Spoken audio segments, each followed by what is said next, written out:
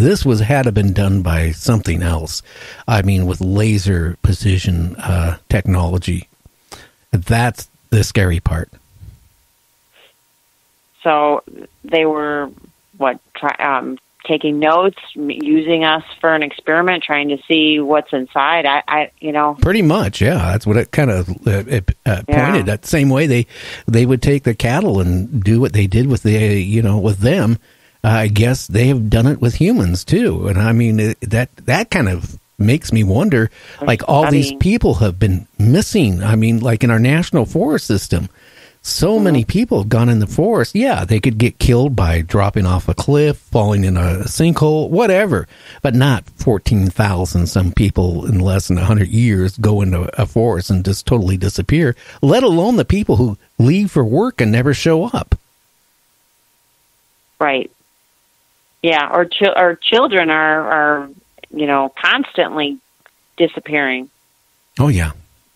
So it makes me wonder, you know, if we are being visited, and and you know, like I was talking to one person uh, a while back. I mean, you know, we eat everything on this planet. I mean, we've even eaten each other, right? Uh, so yeah. just because you know, I, I, get some of these people on that tell me, you know, aliens are fuzzy, warm, you know, lovable creatures. All they want is the best for human.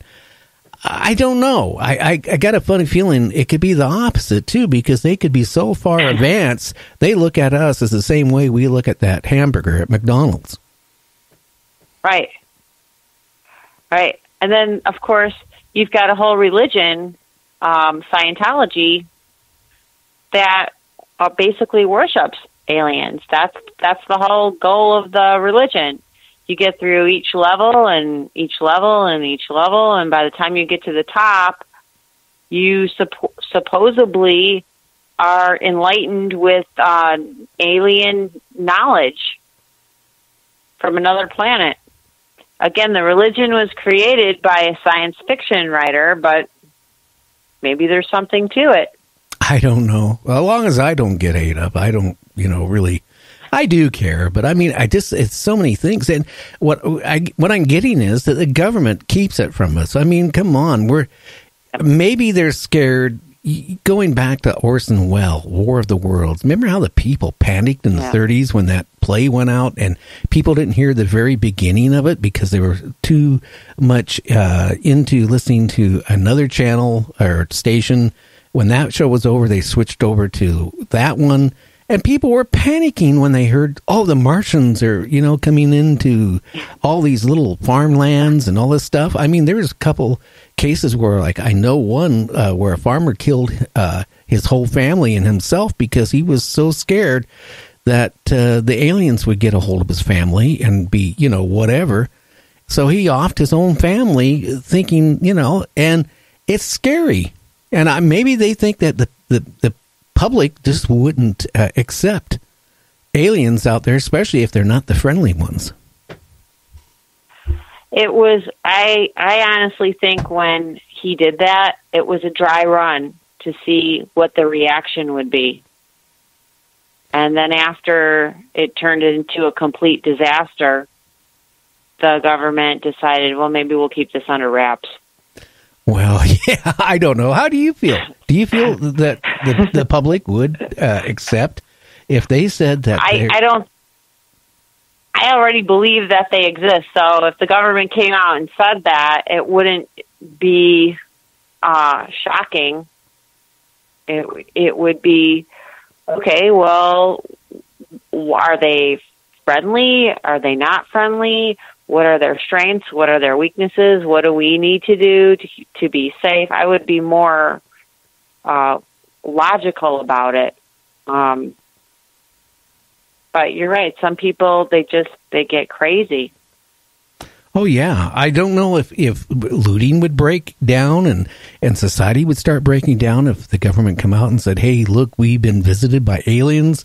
We might. I don't know. I just find it so strange now why this president all of a sudden wanted to create a space force, and then you backtrack it. Mm-hmm. Then when you had the Secretary of the Air Force telling the cadets, "Well, hey, the next war will not be a ground war; it'll be out in outer space." I I just kind of right. makes me wonder if something is up. Well, I don't. I don't know if you are familiar with David Ike or David Icke. I guess I've heard it pronounced both ways. I C K E. No, I'm not. Well, well, he's a a famous conspiracy theorist who uh, wrote a bunch of books about how he believed the reptilian aliens are here right now on Earth, and the reason we don't see them is because they can shapeshift. And keep in mind, a lot of the things that he he says are crazy or, or crazy sounding. Uh, he also has some racial elements. Again, he's uh, anti-Jewish, so he has uh, that going against him as well, which uh, really you know, swipe at his credibility. But nonetheless, this he's the guy that made the whole reptilian race of aliens so popular and he of course believes that they're already here and they're working in conjunction with another race and he's and they're trying to set up a new world order. I know this sounds crazier and crazier, but until this other race can come down, we need to have a one world government, a new world order, and um, supposedly the royal family uh, in England are reptilian. Supposedly, um, the um, some uh, big shot CEOs of major corporations are reptilian, and and once we get this one world government going, then the reptilians' allies will come down, and we're going to be the space station, not the other way around. That is scary. Maybe that's why the royal family and some of these rich people don't eat garlic. I was just reading an article the other day over in uh, the royal family. She will not allow them to have any form of garlic at all on the premises. Hmm. Hey, just a thought. Like vampires. Yeah, they could be. That, Yeah. I, or a form of it. I Vampires. don't know. But yeah, it just makes me wonder what's going on. And, and I'm scared more for my, you know, grandkids than I I am for me. But you know, again, talking to Mary Joyce, she was telling me that uh, the information she had from a, a, scientist, which she said she checked it, checked them out.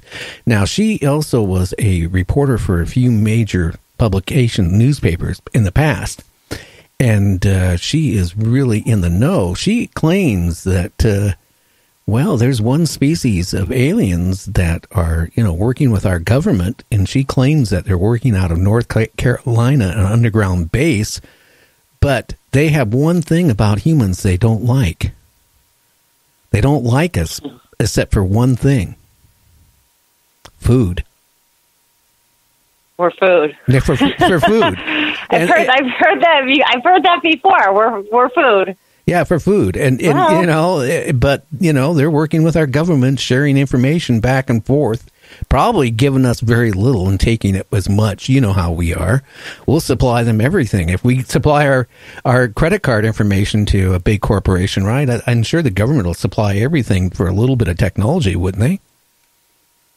Uh, of course, of course. Um, yeah, I, I mean, Hitler, for example, is uh, documented in his beliefs in aliens.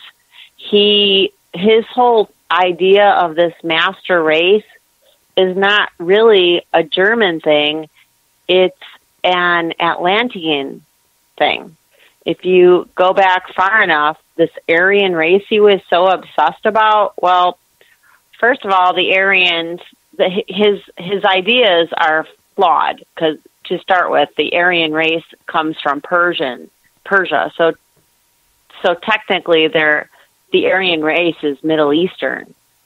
But that flaw aside, according to Hitler and his secret societies, the Aryan uh, race was one of the seven human races that descended directly from the Atlantean aliens who, of course, inhabited the country Atlantis, which we know so well from Plato's writings. So here we've got someone who wants to take over the world, and he believes very seriously that he and the German race are hybrids. That's why what makes them so special. Well, maybe the aliens that contacted him gave him that information, you know, or fed it to him, one of the two, there, and he believed it.